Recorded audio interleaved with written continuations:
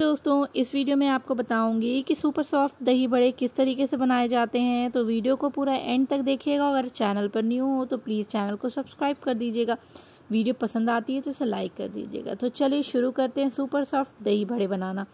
तो दोस्तों, यहाँ पर मैंने उड़द की दाल ली है और इसे मैं सोख करूँगी पानी में तीन से चार घंटे के लिए। तो आधा कप दाल मैंने लिया है और इसको पानी डालकर मैं ढककर सोख होने देती हूँ। तो चले, तीन से चार घंटे में दाल अच्छी तरीके से फूल जाते हैं और दाल अच्छी तरीके से सोख हो चुकी है तो इसे मैं वॉश कर लूँगी और वॉश करने के बाद इसे मैं ट्रांसफ़र कर दूँगी ग्राइंडर जार में, जिसमें मैं इसका पेस्ट बनाऊँगी।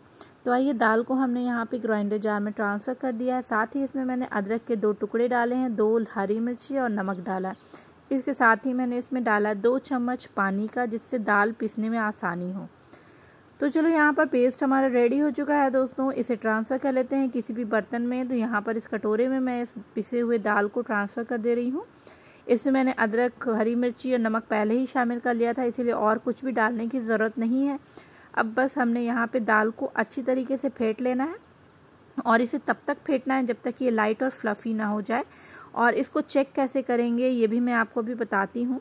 तो पहले हम इसे अच्छे से फेंट लेते हैं और एक ग्लास में या बर्तन में पानी ले लेते हैं, कटोरे में, किसी भी चीज़ में। ये देखिए, मैंने ग्लास में पानी ले लिया और इसमें दाल डाला है। जैसे ही दाल ऊपर फ्लोट करने लगेगा, इट मीन्स कि अच्छी तरीके से फेंट चुका है। तो चलो इसे फ्राई करना शुरू कर देते हैं।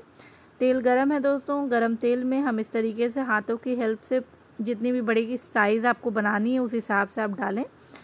तो यहाँ पर मैं इस तरीके से बड़े बना ले रही हूँ। और इसे हमने दोनों तरफ़ से अच्छी तरीके से लाइट गोल्डन होने तक फ्राई कर लेना है। बहुत ज़्यादा डार्क कलर नहीं करना और अच्छा भी नहीं लगता है डार्क कलर लाइट में ही अच्छा लगता है। तो चले इसकी साइड्स को हम चेंज कर लेंगे। और साइड को चेंज करते हुए दोस्तों यहाँ पर इसे अच्छे से हमने फ्राई कर लेना है। तो जब ये अच्छी तरीके से फ्राई हो जाएगा दोस्तों तो हम इसे ट्रांसफ़र कर देंगे पानी में, जो कि बहुत इंपॉर्टेंट है नेक्स्ट स्टेप है वो। तो एक बर्तन में आप पानी रख लें। जैसे ही आप इसे फ्राई करते जाएँ, तेल से डायरेक्ट इसे निकाल कर पानी में डाल दें। तो यहाँ पर चलो पानी मैंने ले लिया और पानी में मैंने बड़े को इस तरीके से डाल दिया। और इसे आधे घंटे तक पानी में ही रहने देते हैं।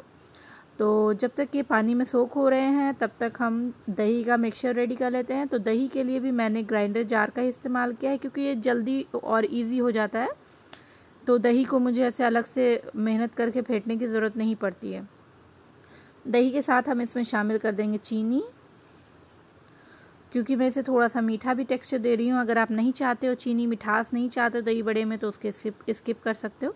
साथ ही मैंने इसमें काला नमक डाल दिया और इसे एक बारी बस पल्स पर आपने चला लेना है। बहुत ही कम टाइम लगता है फिफ्टीन सेकेंड्स में ये हो जाता है।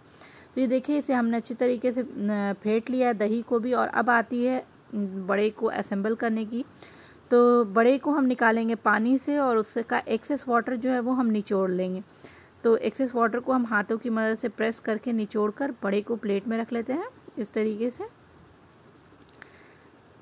तो चले यहाँ पर बड़े को हमने प्लेट में रख लिया है। अब हम इसके ऊपर डालेंगे दही, जिसे अभी हमने फेंटा था। दोस्तों यहाँ पर मैंने इस पर डाल दिया है दही तो अच्छी अमाउंट में हमने इसमें दही डालना है ताकि कवर हो जाए सारे के सारे बड़े जो है। और साथ ही यहाँ पर मैं डाल रही हूँ चाट मसाला। आपने, आप अपनी पसंद के मसाले, हर लाल मिर्ची सब कुछ डाल सकते हैं। साथ ही मैंने यहाँ पे रोस्टेड क्यूमिन पाउडर भी डाला है, ज़ीरा का पाउडर भुना हुआ ज़ीरे का पाउडर तो ये भी इसे डाल दिया है मैंने। थोड़ा सा ज़्यादा क्वांटिटी में मैंने डाला है क्योंकि मुझे ज़ीरे का फ्लेवर बहुत ही ज़्यादा अच्छा लगता है और दही के साथ बहुत ही अच्छा टेस्ट उसका बनता है। अब हम इस पर डाल रहे हैं खजूर और इमली की चटनी, जिसको मैंने पहले से बना कर रखी थी। इसकी भी वीडियो आप मेरे देख सकते हो चैनल पर। साथ ही यहाँ पर मैं डाल रही हूँ इसमें हरी चटनी। तो यहाँ पे धनिया की चटनी है ये, सिंपल धनिया वाली चटनी है। और ये यमी सा सुपर सॉफ्ट दही बड़ा जो है बनकर तैयार है दोस्तों। तो रेसिपी पसंद आई तो लाइक कर दें, चैनल को सब्सक्राइब करें। अल्लाह हाफिज़।